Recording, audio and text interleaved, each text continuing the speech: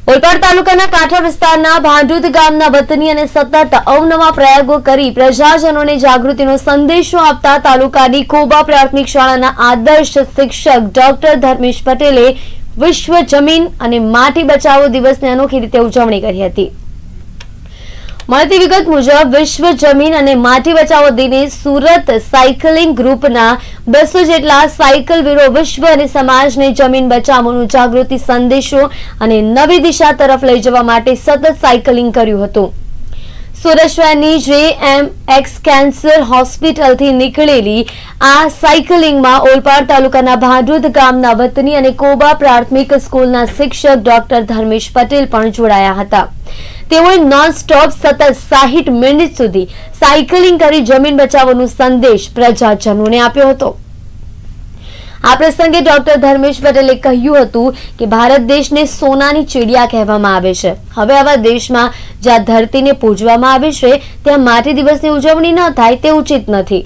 ગત વર્ષ બે હજાર તેરમાં અમેરિકાની મહાસભાની અડસઠમી સામાન્ય સભાની બેઠકમાં દર વર્ષની જેમ પાંચમી ડિસેમ્બરને વિશ્વ માટી દિવસ તરીકે ઉજવવાનો સંકલ્પ લેવામાં આવ્યો હતો.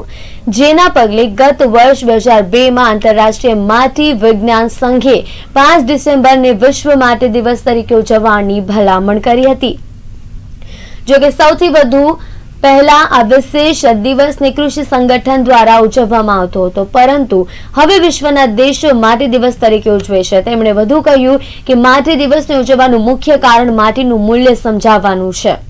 આ દિવસે માટીને જીવિત રાખવા, માટીના પોષક તત્વો વધારવા જાગૃતતા કાર્યક્રમ યોજવામાં આવે છે.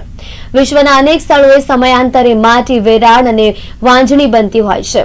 જેનું મુખ્ય કારણ એ છે કે વધુ પડતા રસાયણયુક્ત સાબુથી કપડાં ધોઈ પાણી જમીનમાં છોડી દેવું તથા ખેત પાકમાં રસાયણો અને કીટનાશક દવાઓને અતિ ઉપયોગ કરતા જમીનની ફળદ્રુપતા ઘટી રહી છે. ખેડૂતો અને સામાન્ય લોકોને માટેની રક્ષા અને જાગૃતતા માટે આ દિવસની ઉજવણી કરવામાં આવે છે.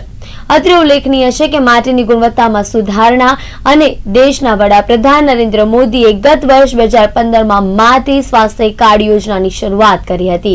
અને દેશભરમાં ચૌદ કરોડ માટી સ્વાસ્થ્ય કાર્ડ જારી કરવાનું લક્ષ્યાંક સિદ્ધ કરવા આહવાન કર્યું હતું. જ્યારે ડોક્ટર ધર્મેશ પટેલના જમીન અને માટી બચાવવા જાગૃતિના સંદેશાને કારણે તેઓ પ્રશંસાને પાત્ર બન્યા છે.